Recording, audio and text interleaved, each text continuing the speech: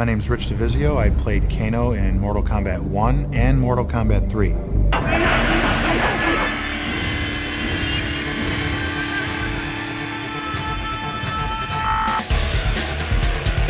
We wanted to make a guy who was kind of half cyborg, half human, and so we put this kind of this metal plate on his face.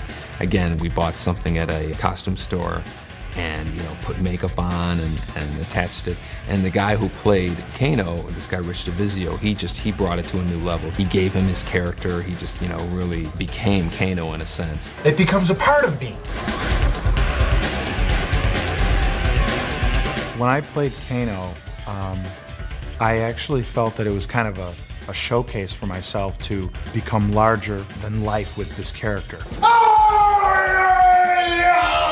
I really believed that, that I can be this guy, and it worked out very well. It's not hard for me to embrace a character and become it. One of the favorite moves that I like that Kano did was his fatality, and it goes a little something like this.